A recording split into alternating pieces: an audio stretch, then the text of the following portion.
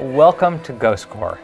This is the center of the Ghostbusting universe. So the Ecto One is parked right outside. Ecto One's parked right outside. This is where it happens, and this is actually where we wrote Ghostbusters Afterlife. oh, it is really. Yes, I can show you the room. Gil Kenan and I sat in here and wrote out Ghostbusters Afterlife. And uh, the, the funniest moment, and, and right outside the window, it's not there right now, but right outside the window was Ecto 1.